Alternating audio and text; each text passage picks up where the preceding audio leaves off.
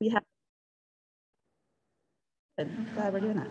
Um, among these worlds, we have approximately four, okay, it's not advancing, no, that ruined everything. There we go. Oh, it went ahead, okay. We have approximately five, well, four, four moons that uh, we consider ocean worlds. So these are moons where there are a variety of uh, types of evidence. We're pretty certain there are subsurface oceans underneath uh, an icy shell.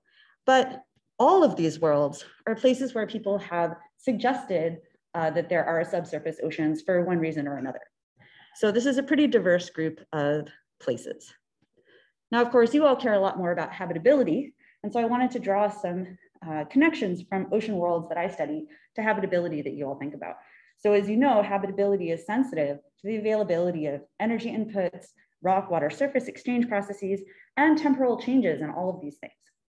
We also think that present day ocean worlds have the best chance of being inhabited uh, today among the worlds in our solar system. So the kinds of questions that I want to answer, which are related to the kinds of questions you probably think about, are what are the ocean, uh, what are the evolutionary pathways to ocean formation? What are the different ways we can form ocean worlds? What is the life cycle of an ocean world? What processes promote long-lived oceans that might be better for life? And how can we detect present-day oceans where we might look for life? So I'm gonna start with Europa, the original ocean moon. I call it the hipster moon because it was doing it before it was cool. Um, we think that, so, so Europa is about the size of our moon, um, but it has more liquid water on it than we have on Earth. Most of that liquid water is contained in a thin uh, layer at the surface. The outermost portion is frozen and the innermost portion is liquid water. What makes uh, this moon so special is that it's in a dynamic resonance. So uh, here you see the orbits of Io on the uh, interior, then Europa, and then Ganymede going around Jupiter. And if you stare at this for a while, other than getting dizzy, you'll also notice that Io and Europa align uh, at the same place every orbit. And then on the other side of Jupiter, uh, Europa and Ganymede align. And because these moons are constantly and consistently tugging on each other gravitationally, it keeps Europa's orbit from circularizing. Usually planets like to go from eccentric orbits to circular, but here these little gravitational kicks keep the orbits eccentric. Eccentricity is really, really important because in this figure, which is extremely not to scale, uh, you see that as Europa gets closer to Jupiter in its orbit, it is stretched more by the difference in gravity across the whole shape of Europa.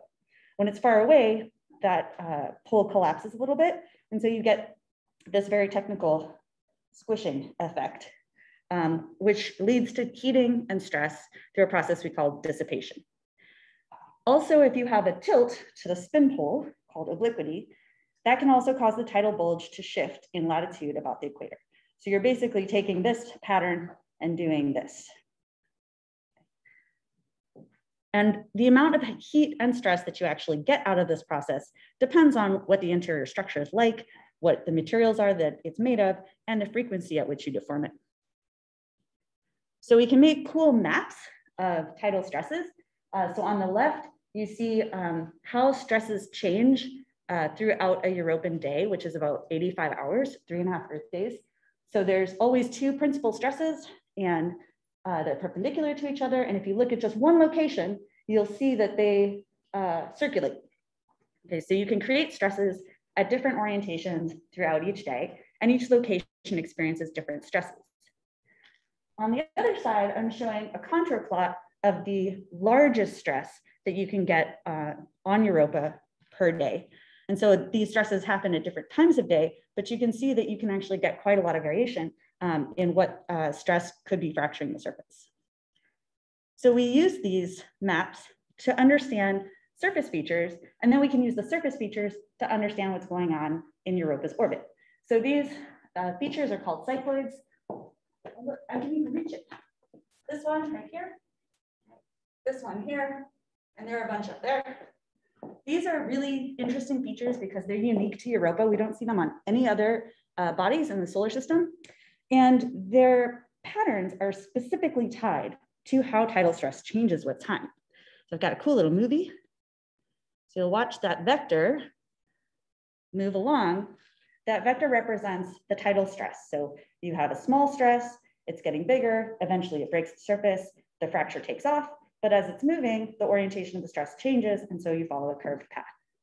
So we've been able to use this to reproduce um, observed cycloids really, really well. So here, uh, the black dots are those cycloids that we see up there, and the colored lines are tidal models using slightly different um, orbit models. So for those of you who are graduate students, I think is like 90% of you, this was four years of graduate school. That's good. Um, so yeah, fear not. So in the time that I was in graduate school working on Europa, luckily we had the Cassini mission, which flew by Saturn and found more targets for me to think about. We have here Enceladus. Now you'll notice first that while it looks really big, it's really, really small moon, right? 500 kilometers across. This is very tiny. Normally we think of small objects like this as not being very interesting because we would expect them to cool off quickly and then not have any activity going on. But Enceladus surprised us. You can see even at this scale that there are regions with uh, heavily fractured terrains. There's a lot of cool stuff going on. And then some uh, gravity measurements and other data told us that Enceladus is a global ocean moon.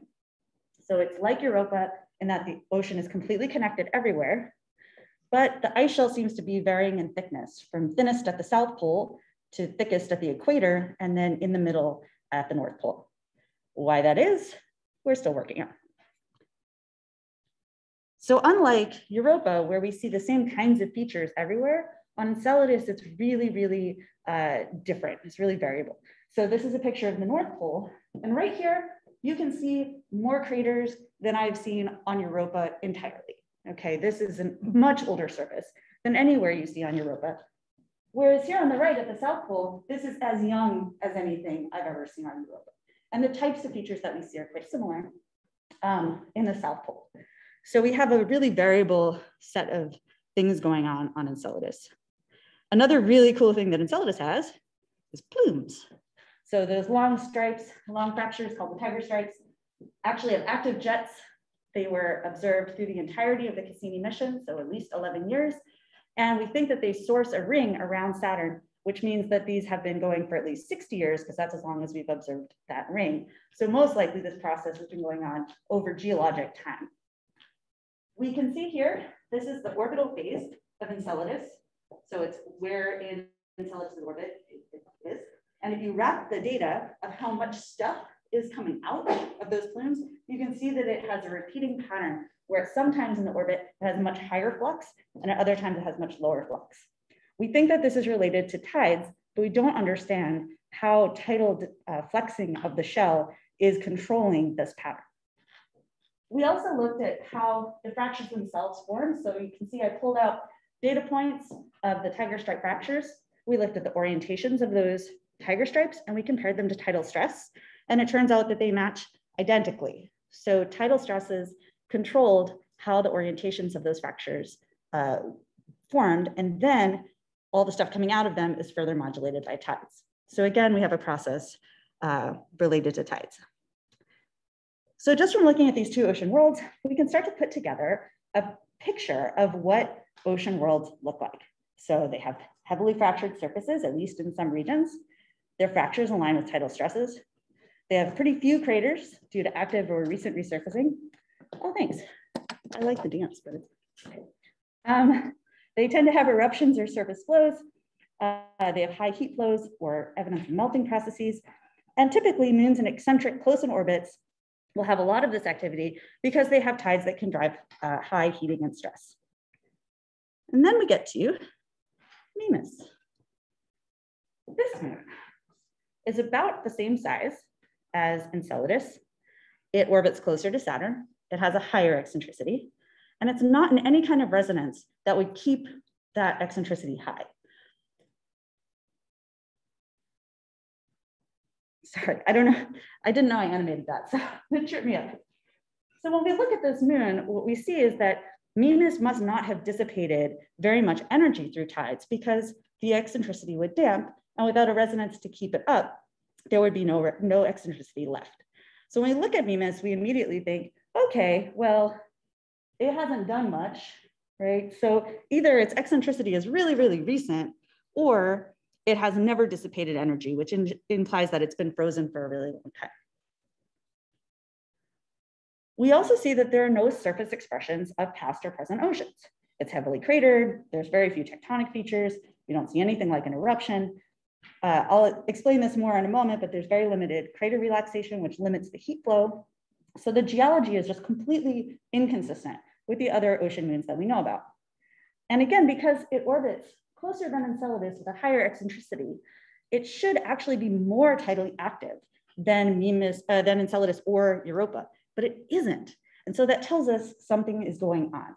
And the thing we have been uh, assuming is going on is that Mimas is frozen and always has been, so it just can't respond to those high tides.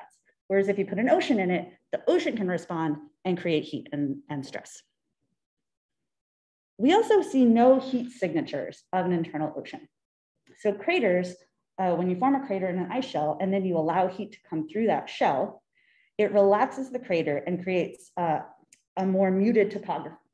And so here on the left, we have some pictures of Enceladus, where you can see that the craters are kind of flat floored, a little bit mushy looking almost. And this is a model where somebody said, okay, well, what is uh, what kind of relaxation does that imply? That's all these black dots. And they used a model to try and fit how much relaxation had occurred. And what they found was that you had to have very large amounts of heat flow through the surface for a long period of time in order to get the craters to relax. So lots of heat, craters relax. Similarly, on this moon Dione, there are places with the red dots where it implies very high heat flows because the craters are very relaxed. There are other places where you have low heat flows. But again, the take home is high heat flows, relaxed craters. Okay, so, oh, I guess I didn't say the important thing here, which is Mimas doesn't have relaxed craters, right? So um, we don't have a lot of topographic data for Mimas, but of what is there, those craters do not look like they've been heated up for a long period of time.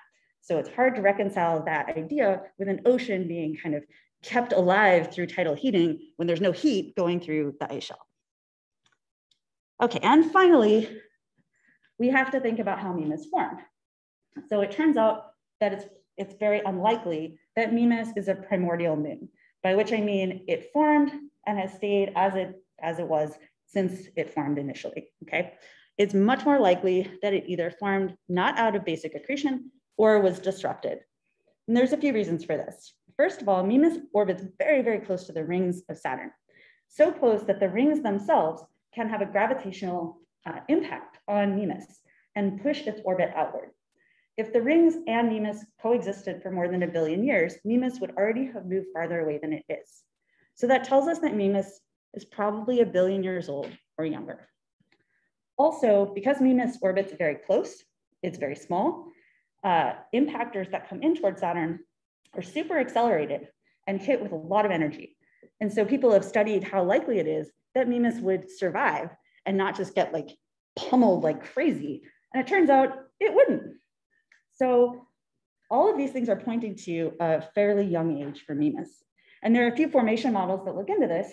One is that all these moons, sorry, MIMS is mid-sized icy moons of Saturn, that they uh, accreted after catastrophic collisions. Everything went kaboom, they reaccreted. Another model, which I think is really cool, is this ring model where a rocky ring particle uh, begins to move outward through the rings and collects ice. So this is an important one because you uh, predict a differentiated Mimas where you have a rocky interior and an icy exterior. And then we have one where a Titan-like body uh, was impacted and chunks of it flew off and became the mid-sized icy moons. Um, and if you have any other crazy ideas, there's definitely room for more crazy ideas. Uh, but there are no obvious pathways from these formation models to oceans because there's no heat source. When you accrete late, there's no radiogenic uh, material. And so there's just not an obvious way that we can form oceans. So all of this tells us clearly there's no ocean in Mimas. Talk over, all go home. So the Cassini spacecraft measured this slight wobble of Mimas relative to the direction of Saturn. That's called a libration. librations are very, very sensitive to the interior structure of a moon, and there are only two ways to explain the libration. Either you have a weirdly shaped core surrounded by an ice shelf, or you have a liquid water ocean under a relatively thick ice shelf. In either of these cases, Mimas has to be a differentiated moon, which conflicts with our original idea that Mimas formed and stayed frozen and didn't do anything interesting. Something had to lead it to be differentiated. And further analysis of the libration seems to favor the ocean model.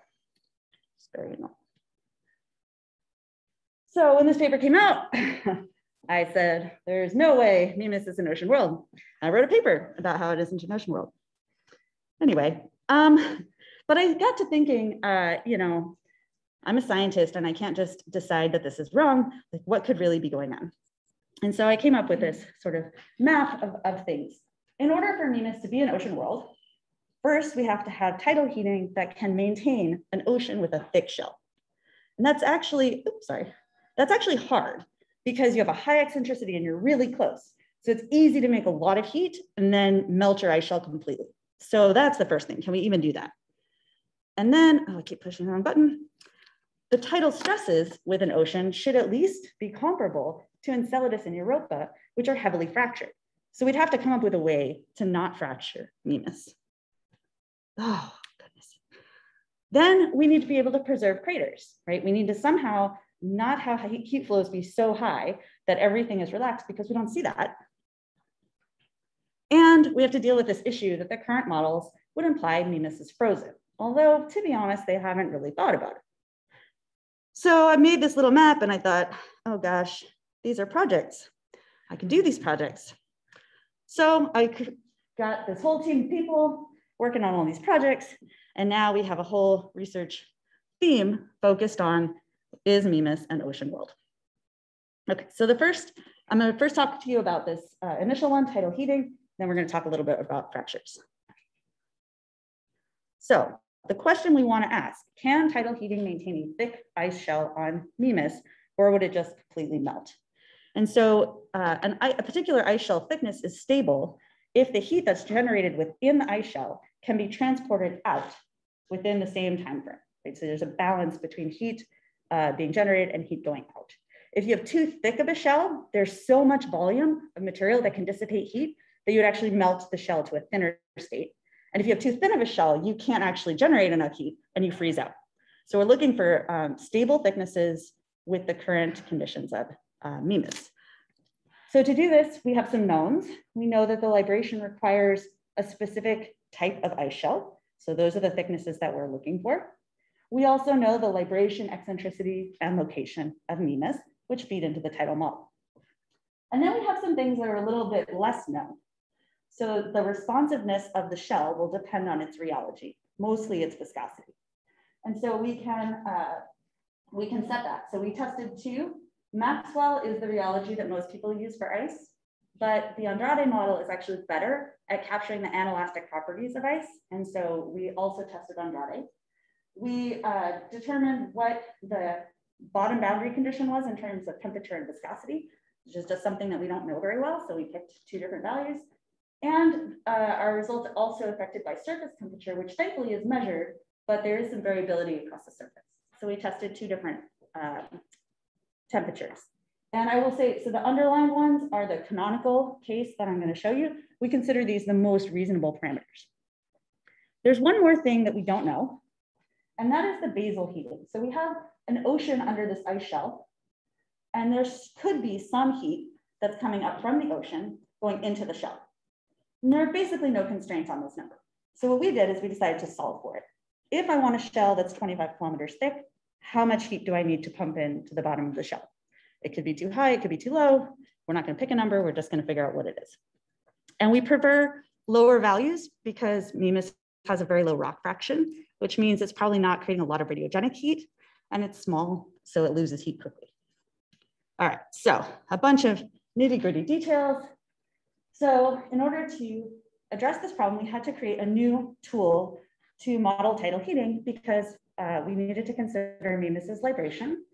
And we wanted to be able to uh, look deeply at the rheology of the ice shell. Most of the time people model these with only two layers in the ice shell, and that's not very good at approximating a conductive ice shell. So we decided to make a much more refined grid, essentially. Um, we call this multi-frequency analysis of tidal heating. So yes, we use math to do this work.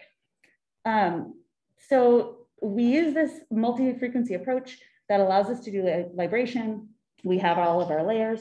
And then uh, an important thing to know is that if you look at a global picture of a moon and its tidal heating, it changes from location to location, just like tidal stress.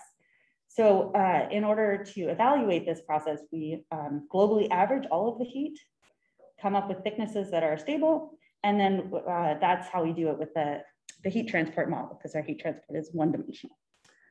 Okay, so a bunch of things here. So in each of these cases, the blue line is the initial condition that we set throughout the ice shell. Okay, so the ocean's over here, the shell base is here, the surface is here. So we have a temperature profile through the shell that corresponds to a viscosity profile through the shell. And then uh, we have a, a standard tidal heat that we're starting with and heat flux from base to surface. The orange lines show what happens once we reach steady state. So we allow the tidal heating to be generated, transported, and we let the whole thing evolve. And so you can see we get a spike. The spike of heat actually moves up a little bit in the body and we can change the heat flux. Okay, so here's the results. Frustratingly, the most plausible parameters make exactly the shell thickness that we observed. So, oh, did that not? Oh, there's a green box here that for some reason is not showing up on this screen. So the what, what I'm showing here is heat flux on this axis and shell thickness on this axis. Okay, so we have basal heating going into the ice shell, we have tidal heating being generated in the shell, and we have surface heat coming out. So the basal heating is the blue line, and the surface heat is the orange line. So if we pick a thickness, say 15 kilometers, it would suggest that to have stable ice at 15 kilometers, you need about 10 milliwatts per meter squared going into this, the base of the shell. You generate heat to get up here, and then uh, you have about 100 milliwatts per meter squared coming out of the surface. Okay. So everywhere there's a dot, that is a stable thickness for some basal heat flux. The uh, libration measurements, and this is the green box that you can't see, said that this has to be between 24 and 31 kilometers to fit the measurements. And an ice shell of 24 to 31 kilometers actually works beautifully.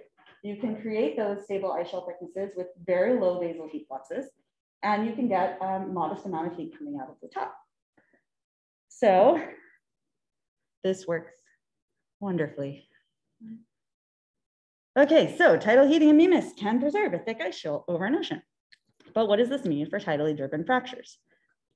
So how can we avoid fracturing Mimas? So we have Europa as, a, as an example. Europa is obviously heavily fractured. Everything you see here is a fracture. In, when we look at Europa and we look at their tidal stresses, they're pretty low, about 100 kilopascals. But if you take ice and you put it in a lab, it breaks at one megapascal.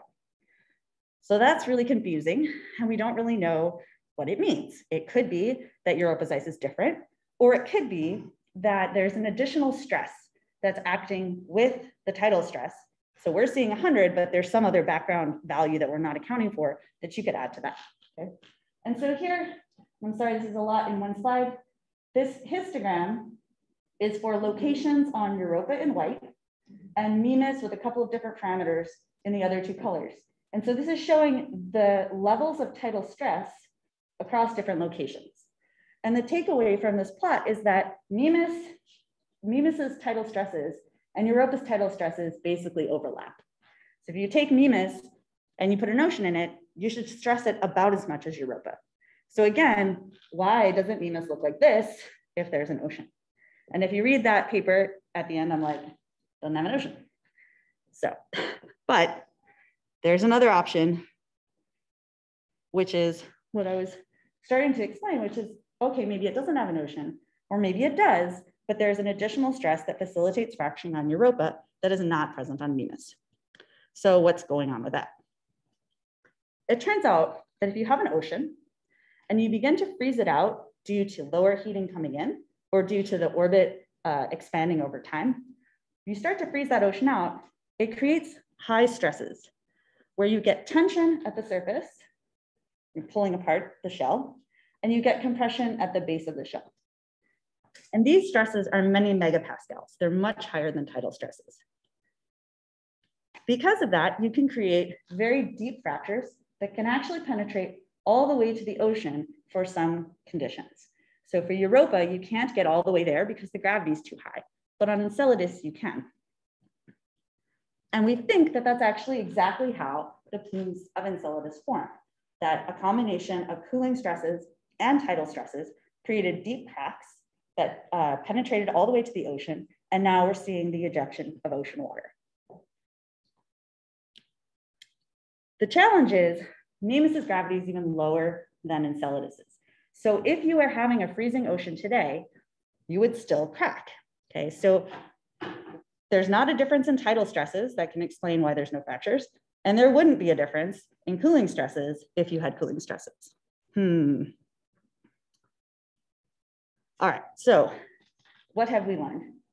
So first, we've learned that thick ice shells actually can be maintained with really low basal heating and using really realistic parameters. We accounted for the libration that was measured in terms of tidal heating. We're the first tidal model to include libration, and we found that it did increase the amount of heat that was generated within Mimas. Our initial models actually produced way too much heat. We could make ice shells as thick as six kilometers, which is very thin. Um, but switching to the more uh, realistic rheology really helped to solve that problem, as well as uh, reducing the surface temperature. And then finally, this issue, Mimas's ice shell should be cracked if the ocean is presently freezing. But maybe what that's telling us is that the ocean is not currently freezing, and that would solve the problem. So around August, I updated my thoughts about Mimas. Maybe it does have an ocean. So Mimas could be a young ocean world. If it's young, if it's a young ocean world, we can see the tidal heating is compatible with the present day observations of ice shell thickness. If the interior is warming, if the ocean is growing, that would help to avoid fractures because you don't have cooling stresses to get through that ice shell. Uh, if you have a recent ocean, you also don't have as much time to pump heat through the ice shell, so you're not going to be relaxing craters substantially, and that's consistent with our observations. But we still need to find a heat source for this recent ocean.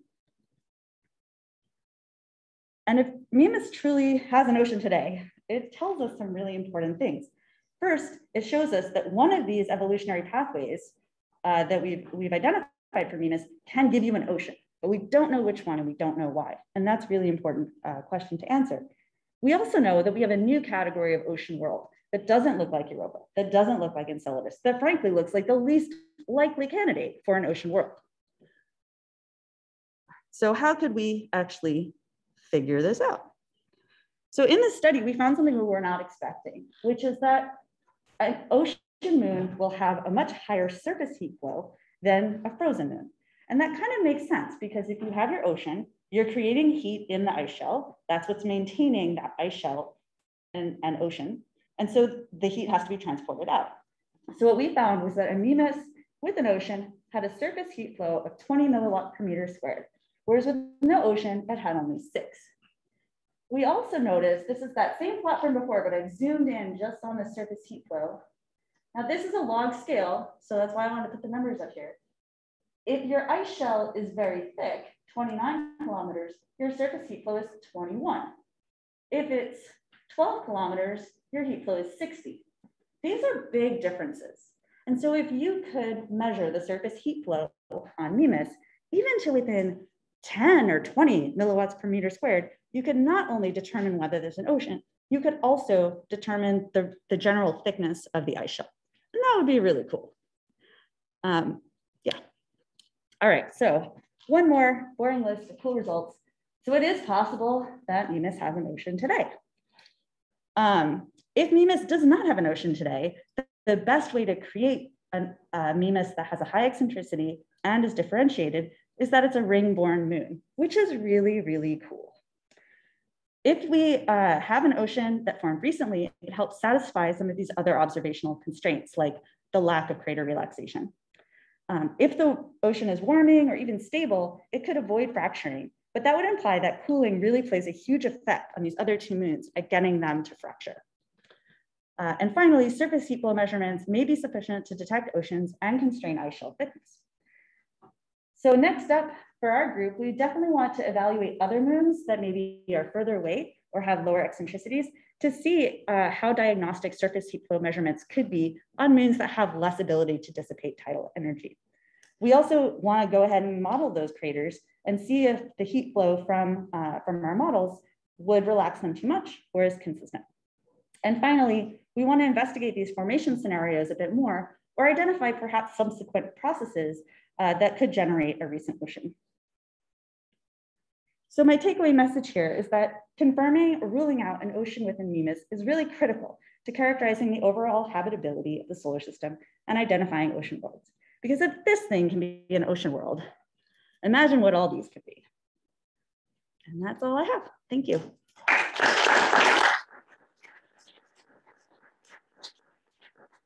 Thank you very much, Alyssa. We have plenty of time for questions. Oh, um, I saw you first. Um, so I was wondering, uh, are, is there or are there going to be any opportunities to measure the surface? I'm so glad you asked that. so um, the Juno spacecraft at Jupiter is going to do some satellite flybys, and it has an instrument called a microwave radiometer.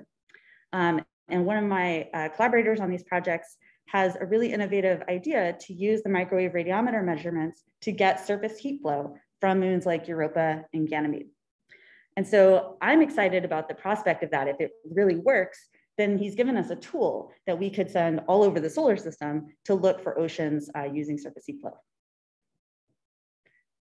Yeah. So you're proposing that Mimas's ocean is recent, and I think that Enceladus, you know, the age of formation of Enceladus estimates vary from, I don't know, a billion, well, I guess, I guess from 4.5 billion, to maybe a billion, or even as short as 100 billion years ago. So how recent is recent with your Mimas ocean? It's kind of a scaling adjective, which, oh, yeah, well, 100 million, 10 million? There's a lot to unpack there. So, so first, uh, for people who aren't familiar with the age debate about the Saturnian moons, um, all of these Mimas, Enceladus, Tethys, Dione, Rhea, the mid-sized moons, um, there's a huge debate. Uh, initially, they were thought to be four and a half billion years old. And then there was a paper written that said, hey, if you actually um, move all of these orbits back in time, and then you move them forward in time again, they get locked into resonances that they're not currently in. And in order to avoid getting in those resonances, they must be very young. And that's where the 100 million year number comes from. Um, the challenge with that paper is that at the time they did what everybody does, which that they, they assume that dissipation in Saturn has been constant over uh, the age of the solar system and that the number Q is very large, 80,000. Since then, um, people have measured the outward migration of the moons and shown that the Q of Saturn is more like 1500. So we can't use that constraint of 100 million years because it's based on this incorrect uh, Q value. Um, as for the the ages, I think a billion years probably um, for Mimas at least, because you need to uh, deal with the rings problem um, that, that uh, the rings would move its orbit. So that's what you mean by recent a billion. Well, the moon itself would be a billion years. For the, the ocean, the only way to figure out how long the ocean could persist is by doing the crater relaxation modeling, because it takes a certain amount of time to relax craters. So if we say, okay, an ocean would create 20 milliwatts per meter squared, okay, well, it's got to be there for a certain period of time. And eventually, if it's there too long, you're going to relax the craters. So if my proposal gets funded, then I'll be able to tell you how old is too old in order for the ocean to still to have been there. And yeah. just to follow up to that, so so you're proposing that Mimas could have an ocean, some reason it's not freezing. Could it be because it just has a peculiar geochemistry, like very ammonia rich or something, and so it's not. Yeah, it's it's unclear why. That's kind of a thing that we're starting to think about. Um, but there's a bunch of things about the Saturn system that we don't see anywhere else, uh, which need more investigation. So the one that I'm most interested in is, um, so we looked at Enceladus. Enceladus pumps out way more heat than it should. And so uh, there was a paper by James Roberts many years ago where he said, well, if the core of Mimas is actually ice and rock and porous. He said it was fluffy. He called it fluffy. So if you have a fluffy core, you can actually get dissipation happening in the core in ways that we don't usually think about. And so I'm curious about uh, a fluffy core in Mimas and at what point in time it would begin to be activated by tides. Maybe things are delayed. Yeah. If I understood right, the libration observations could be explained by a frozen moon, but with a non-spherical. Mhm, Yeah. Um, and it- that doesn't strike me as so unlikely if it's a collisional fragment, but is there a reason to disfavor that? I mean, in my 2017 paper, I said that's definitely the explanation.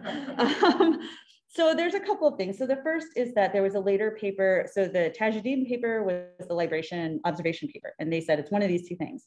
There was another paper um, by someone whose last name I will butcher, Noyels, Noyes, I don't know. And he looked at the phase of the libration, um, which was something that uh, they didn't do in the initial paper.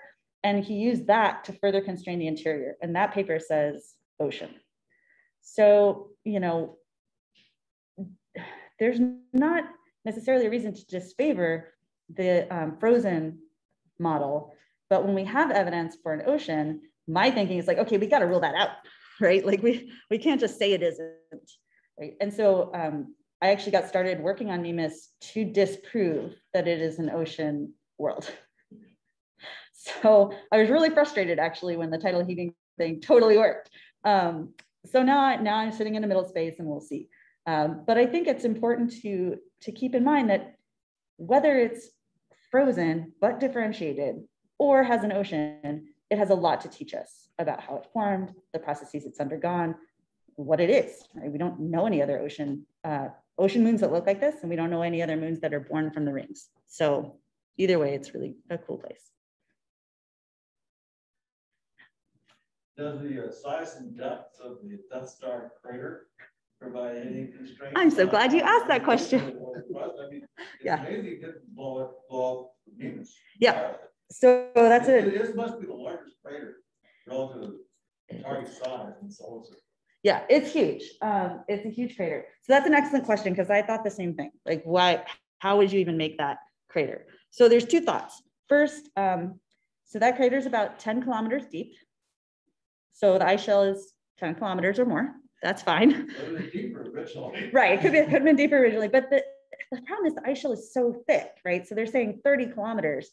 So, okay, fine. Um, I have a student who's working on this project. She uh, models impact basin formation.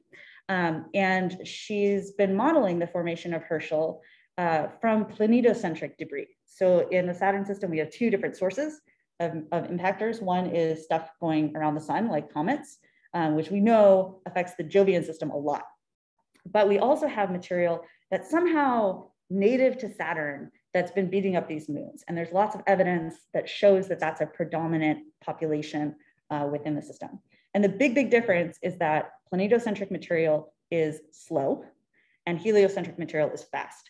So what Adine found in her models was that if you have a slow impactor, you can totally make Herschel without breaking through a 25 kilometer ice shell.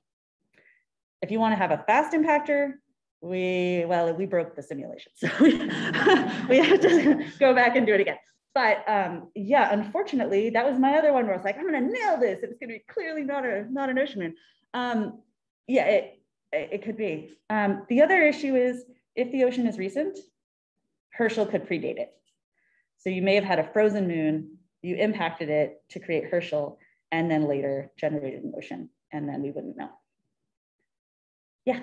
Is it possible that that and other impactors might have provided the impetus to melt the ocean? So I'm, I love you guys. um, yeah, that proposal got rejected on Friday. Um, yeah. yeah, so impact heating is an interesting beast because generally we think of impact heating as being a very quick process, transient heat. You hit it, it heats up, and then it goes away. Um, but the interesting thing is when you add that heat, you also change the thermal structure and the viscosity of the ice shell. And since tidal heating is so sensitive to viscosity, you can actually start to generate tidal heat in the ice that, uh, that has been warmed up. And what we were hoping to investigate with this proposal is not just the formation of Herschel. But overall, if you're bombarding a moon heavily enough that the heat signature from one crater can't dissipate before the heat signature of another crater is imparted, maybe you can begin to get a like global level increase in tidal heating. And that could potentially lead to melting or just enhanced heat for a long time. Um, so yeah, it's something I'm really interested in. We'll, we'll get there. Other questions? Are there any questions from online? Let me see If you can check that or maybe you can see it. There's a If you have a chat. question online, you know, type in the chat. Uh, oh, there are comments. Yeah, Yep. Why does it look like the Death Star? I, yes. Oh, good. We just answered that question. Yes, and Sierra points out that Odysseus is on Tethys and looks similar. And yes, we don't know why there are big things either. Yeah, she, she answered great. This is Sierra is my grad student and now postdoc. Um, and she's been studying the moons of Saturn in a completely different way and finding just like really weird things about them. So look forward to her papers too. All right, so, uh, oh, we have another question over here? I was gonna ask a of ridiculous question, but if you had all the money in the world and all of your proposals would get funded on that, uh, what would be your first research target? That's a really good question. I mean, right now I'm really like, I've been sucked in to this moon. And I feel like there are enough good questions to be asked where you can't just dismiss it, right? Crater relaxation, crater formation, like even the evolution models. How would you, how do you build a moon out of ring material? And if you do that, like how much thermal, you know, energy are you imparting and what is the temperature structure? And like a big impact, what does that have, uh, what kind of effect does that have on the eccentricity of the moon and all these kinds of things? So most of my proposals recently have been looking at um, how does a satellite system evolve and what are the different uh, processes that might affect whether oceans form or don't form. Um, so that's definitely what I would do. And I go visit Mimas. and I'll, I have Venmo. So if you want to contribute, we're good. All right, well, we're gonna take Alyssa out for dinner tonight. Uh, so if any of you are interested in that, uh, please come down and let me know. Um, but otherwise, let's uh, thank Alyssa for a great talk.